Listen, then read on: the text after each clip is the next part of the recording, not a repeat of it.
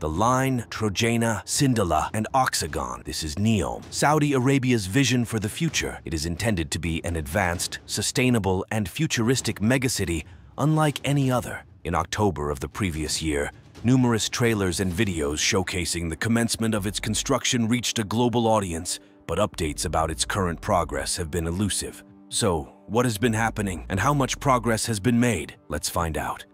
Initially announced in 2021 by Saudi Crown Prince Mohammed bin Salman, the line represents the nation's most ambitious mega project to date. It is envisioned as a self-sustaining linear city extending over 100 kilometers from the Red Sea to the city of Tabuk in the east. The city plan includes two 500-meter tall buildings running parallel to each other. The vision is to make everything easily accessible by foot, creating a city with no cars, no roads, and zero emissions.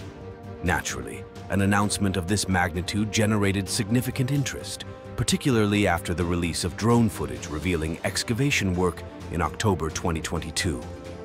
However, since then, details about the actual progress on the construction site have been scarce. So, what does it look like today? According to the most recent information, substantial work has been carried out on the line over the past year, in an exclusive interview with the project's executive director, it was disclosed that approximately 20% of the essential infrastructure has been completed. This includes critical roads, offices, and logistics hubs necessary for future work on the site. Satellite images show visible changes across the project's length compared to images from the previous year. For instance, the Neom Community 1 now resembles a fully functional city with numerous housing units, a school, a mosque, a post office, convenience stores, and even a Starbucks branch. Excavation work on the main structure of the line has also progressed significantly in the past year, with Google Maps showing the foundations taking shape. The excavation of the hidden marina, set to become the world's largest marina, is also underway, with a massive amount of earth being dug up each week. In addition to ongoing excavation, piling work has begun for the main structure. More than 4,500 individual piles have been installed in a section known as Module 43. The pace of pile installation is expected to increase as construction ramps up over the coming months.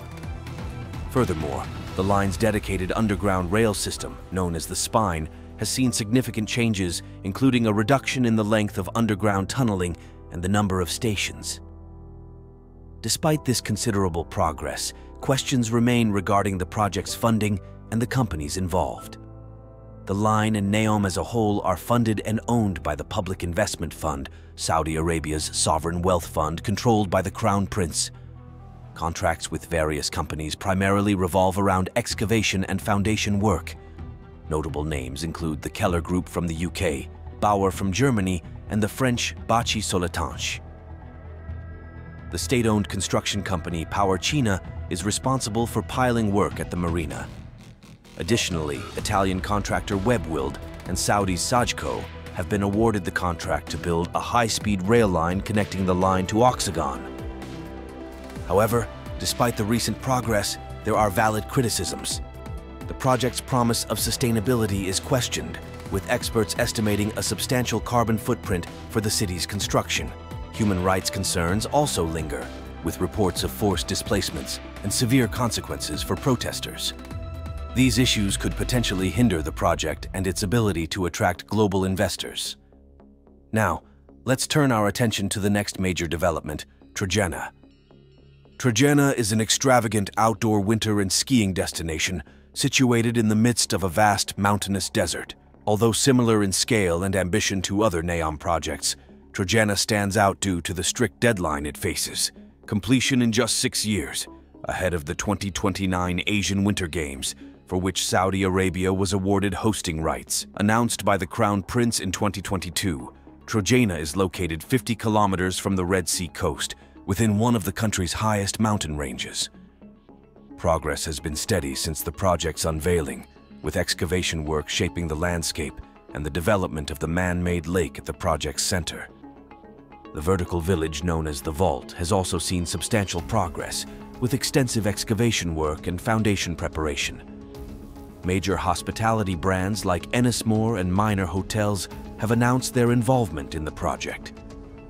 Sustainability remains a concern, as the region's limited natural snowfall necessitates reliance on artificial snow machines, which consume substantial resources. The use of seawater from the Red Sea for snow production poses additional logistical challenges. Now, let's explore Sindalah. Sindalah is another significant project within Neom, currently under construction as a luxury island resort destination on the Red Sea's coast. Accessible by boat, seaplane, or the nearby Neom Bay Airport. Sindalah is designed to be a world-class yachting destination with an 86-berth marina, three luxury hotels, a golf course, and various high-end restaurants and retail outlets. Announced in December of the previous year, Sindalah is expected to be the first Neom project to open with the first guests anticipated in 2024. Construction is well underway, with infrastructure in place, roads constructed, and the basic layout of buildings and foundations established. Marriott International, set to open three luxury hotels in Sindalah, expresses confidence in meeting the 2024 opening date. Finally, let's turn our attention to Oxagon. Oxagon is a floating industrial port city on Saudi Arabia's west coast set to serve as the business and industrial heart of Neom. Located in a crucial shipping route, it will support emerging industries, including green energy. The port of Neom, the main industrial and logistics hub of the future megacity, is a central component of Oxagon's development.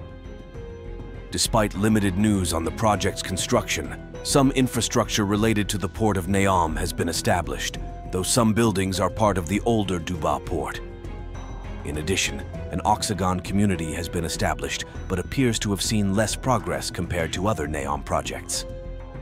Saudi Arabia appears committed to transforming their ambitious plans into reality, although challenges and concerns remain. The future of these projects will be closely watched. In conclusion, these Neom projects represent a vision of the future that is both awe-inspiring and fraught with challenges. The ambition to create sustainable, advanced, and futuristic cities has generated significant progress, yet it also brings into focus issues related to sustainability, human rights, and financing. The world will be watching to see how these ambitious initiatives evolve and whether they can live up to the grand vision set forth by Saudi Arabia. We appreciate your support and hope you enjoyed this update. Please let us know your thoughts and whether you believe Neom's projects will ultimately become a reality. Thank you for watching, and we look forward to your comments in our next video.